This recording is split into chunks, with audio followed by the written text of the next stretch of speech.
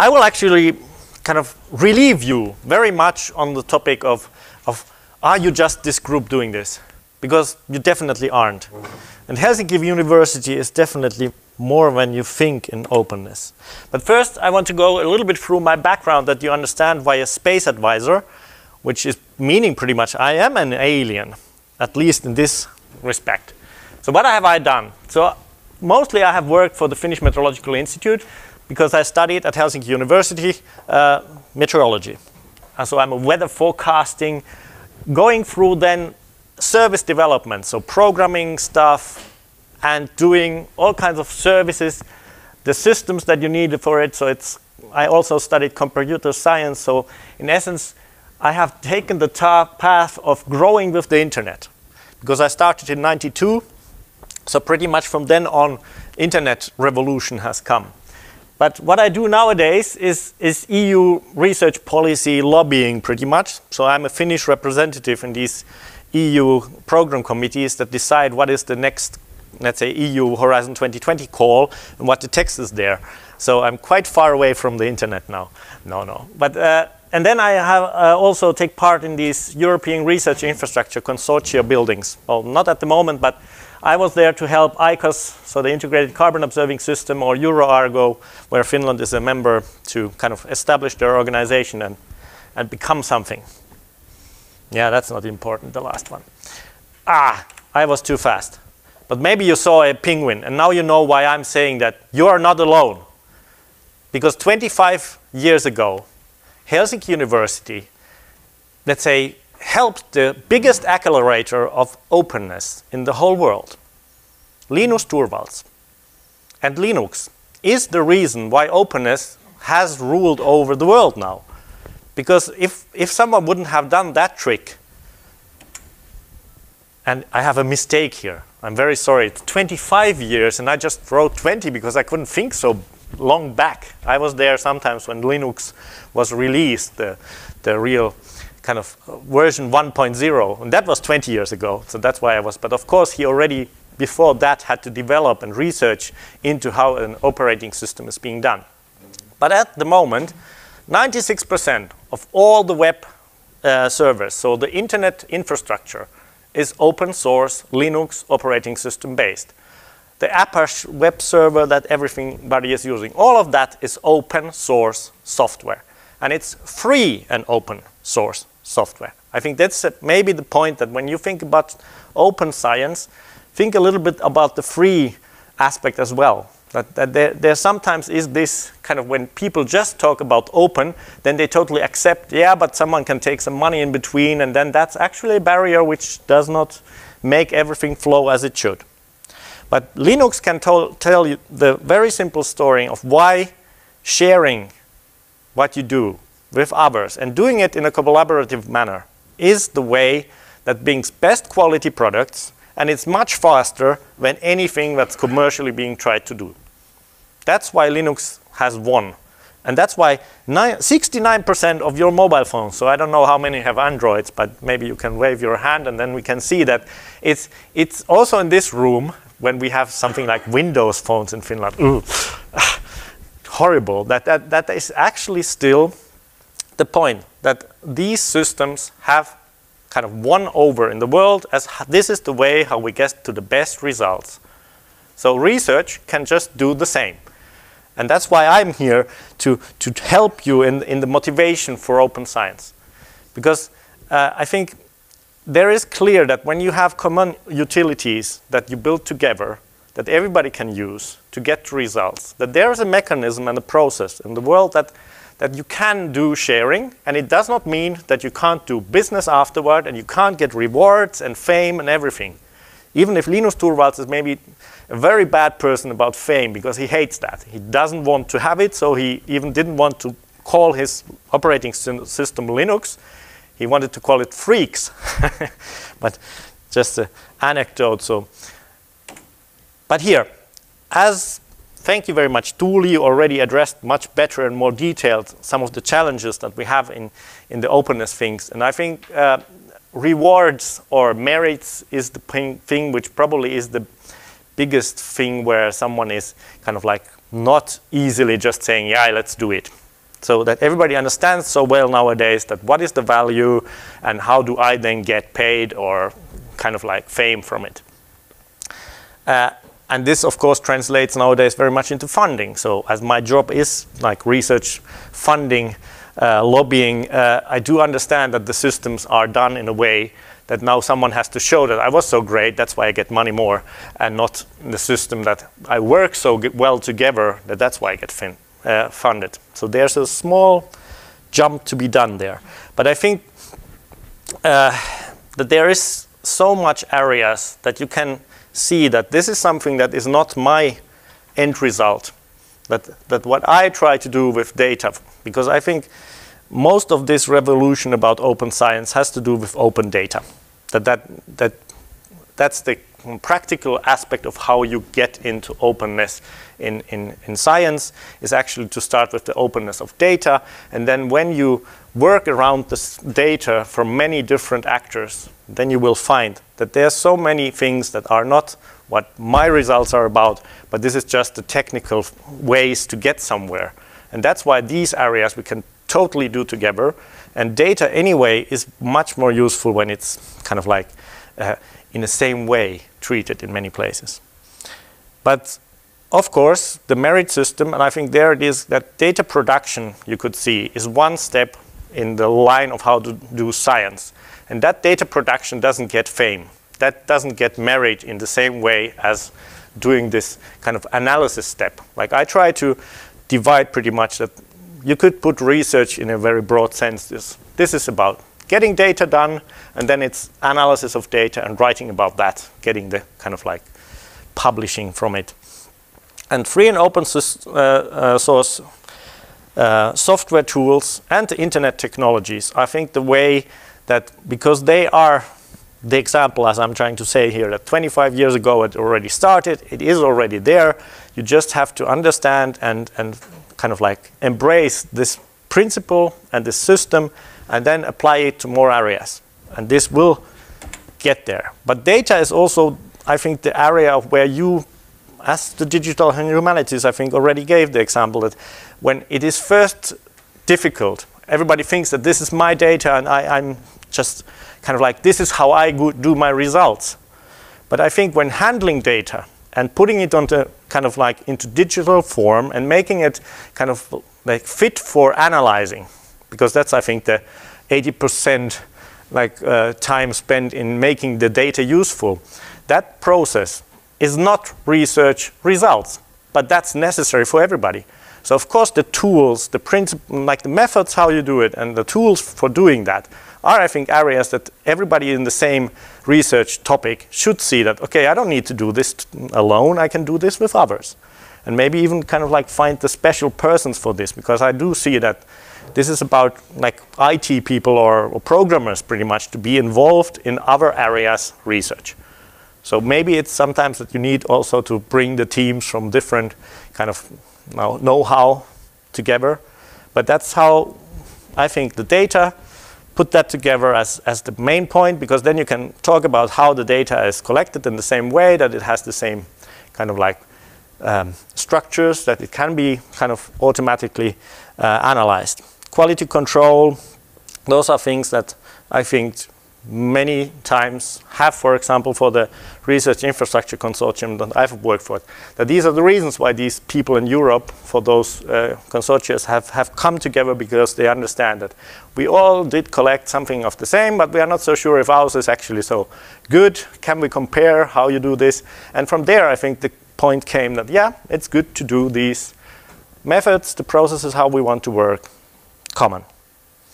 And then, from there, it is also one thing I think mm, that nowadays will be important. When you see that data gets more kind of like important for research as, as its own in a principle set, then you also understand that research funding and applying for funding has been many times just thinking about, okay, how many of our us people are working, how many hours do we need about it, and they definitely didn't think about and the data costs in a way because it's still technical work, it's systems, all those please remember, put something like 30% more into your applications for eh, EU funding, for example, because we get Finland is as active, as successful in principle, but we get less money than many of the other EU countries. So somewhere we are not calculating in the right way. So I think this is, might be one of the areas that we are not so aware of what infrastructure we are actually depending on, and that cost should better be realized. Put it in. And I think the merit system being a key factor, like track when you are ready and put out the data for, for others to look at, track the usage of it. So try to find out who did take it. Are they happy with it? What did they do with it? And, and from this, you will find out uh, more research topics probably, and you will also find a lot of um, kind of the reasoning that you can give you to your financials that, hey, because we find out about this, now we need money. And I think that that will get understanding, and from there it goes on. Now, this was pretty much my general open science things, and to make it more concrete, the Finnish Meteorological Institute is, is one huge data producer, and it's all open now for all the things that we have had the kind of time to do it. There's still a lot of, and a lot of research data, which we haven't been able to put out, but because we know how this goes, I try to share this with you that you understand that it is quite a task to put data openly available to others. We are in Finland very, very good since 2013 in the fact that the, the Finnish government decided then that all the, let's say, publicly funded, let's say, data production has to be available to everybody and they also understood a very important thing that the dissemination systems they need some money to be built up they also need some money to actually be run. And i think finland is from the european countries at least the only one which has clearly made this that they they have recompensated for all the research institutes of the government that you get the money that you were losing now that you don't sell it anymore. Because for a long time Finnish Met Institute was principally ready, yeah, we can open up our data, but we are earning, earning something like not even a million or something like very small fish compared to the whole budget of the Finnish Met Institute for selling out the data. But because even losing a million is still making kind of some adjustments in what you can do, we always said that we can't do it unless you give us that money in, in the budget so that we can still keep on the same data production. So that finally happened in 2013, and that's the reason why, why we have it. Um, yeah, but this is just examples. So we have weather observations, also from the uh, marine areas. Uh, we have, yeah, long time data series to the to the past. Many times not before 1959 because those are still in, in paper formats or something not digital. Um, but also the models both from the sea and from weather. Lots of data out there, something special for air quality and road weather observations for someone else. So LIVI is the Liikennevirasto. Um, but it all is about that you need metadata, you need the models, uh, how the data uh, has to be uh, kind of like built up for the thing, and services. Inspire was actually the, the, the kind of EU directive you were uh, that Tuuli was telling about. But what I think is important, and you should think about this, that it is totally fine that even if you give data freely and easily for everyone, make them register so that you can track what is it that people are taking and, and, and see how much what is used where. Because those are exactly the ones where you can motivate them, the, the funders, the donors for your system. And then as you can't just for weather data, you can't just let someone run everything from your machines pretty much because when the data is there uh, so that you can visualize it and, and even kind of make it a beautiful picture, someone else might do their web service by using your infrastructure. So we have some, uh, let's say, uh, so that everybody can get every data set per day from here, but it can't be used. But this is what you get to. So only three years of experience. We have now almost 12,000 registered users. They take data like five, four, half a million times a day. So that means a second we get five requests. Of course, we are in the kind of near real-time interesting data stuff. But from there, we also have found out that there is always this kind of like serious established organizations who have IT people and, and lots of, and they are ready to, let's say, get this data in very difficult formats as we have special formats for big data files. Uh, they are ready to do that. But when it comes to, let's say, the big group of, let's say, internet technology know-how, there we need something which is like a JavaScript object application uh, interface. We have therefore made a library, so on the internet with JavaScript to be able to do it. So we are also on GitHub, FMI dev. Check this out. Also, this is just what we do this from. So the server, as we have been using so much open source software for free, we are now finally also having our documentation, let's say, prepared good enough that this SmartMet server, which is doing all that data giving, that we will by the in this quarter actually, so very soon we will publish it in open source. And an MIT license is something which pretty much lets everybody use it, even commercial people. But I want to do this because I think this is my main statement here. So how could you see open science as a vision? I think that makes it much more practical and concrete. So think about how Wikipedia is being done. And then think about, can you do your science like Wikipedia? Like everybody can kind of like just write there and put something on the same article pretty much. And, and all the people who are in this field doing something read and interact with this text, change it, put in their own results, and form a publication which is not just some team with a few people, maybe putting some others to comment, but it's actually something totally collaboratively done. And this means that the data should be freely available and accessible for everyone. The scripts or all the programming, the modeling that's involved should be also that people can take it and run it themselves. And it means that all of that you can access over the internet. So I think internet technology is a very basic, let's say, platform from where you start. And uh, sharing the fame would not then be even technically difficult. It's not that hard to see everybody who contributed, everybody who commented, even everybody who read it if you have these registration systems on there. All of that could be just put together that this research result has so much kind of been checked. And I think that should be a kind of like merit system part. How much has this been checked by others makes it a bigger and more important result. Yeah. But for this vision, I think we need to get a little forward. We are not totally away from this path, but I think that um, for governments, it's quite clear that they should quite clearly be able to say that what are the data that the public and uh, is so interested in that that needs a kind of continuous long-term funding system and uh, to be the base of what people can use in sense of data, both for research, but especially I think for just normal life. Um, and there is then kind of the, the thing that private entities will also uh, want to do, of course, something. And university, I think, and science institutes are also private entities in this case. That how, how could their interests be also included in an open way? And, and, and even commercial interests. But I think this is, there are some mechanisms for this.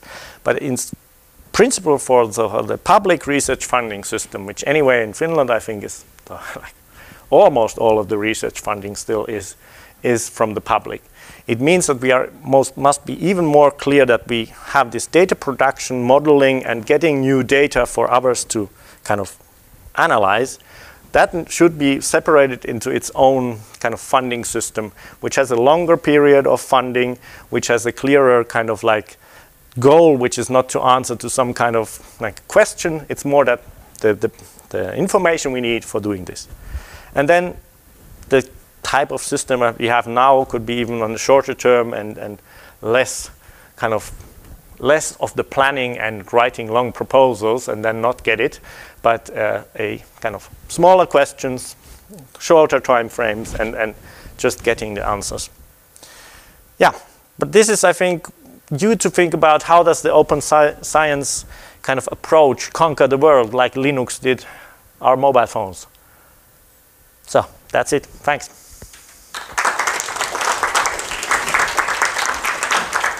And of course, you can get my slides on SlideShare. So this is just how you can start. Thank you. Questions? Comments? Okay. Okay, two. Thank you. Uh, thank you for excellent speeches. Uh, uh, I think maybe you can all answer to this question if if uh, you would like to do so. But my, my question was inspired by Mikko's presentation, in which I think he mentioned that simple guidelines for researchers would be really good.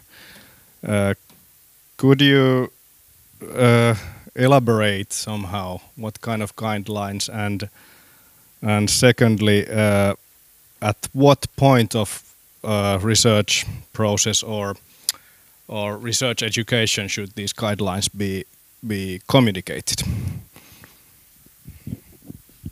Maybe I can quickly answer as I'm standing here and someone brings the microphone to the other Mikko because I think he should answer as well. Uh, but it, oh, well, let, let me first say, and maybe it's good enough. But I would say that just be bold enough to just go out and tell what you're doing.